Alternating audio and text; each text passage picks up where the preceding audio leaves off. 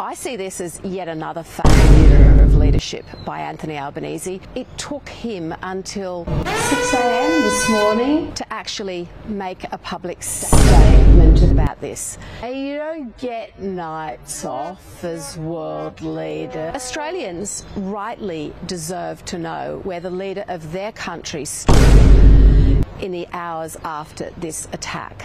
I'm quite frequently critical of Anthony Albanese, and I'm not going to take a backward step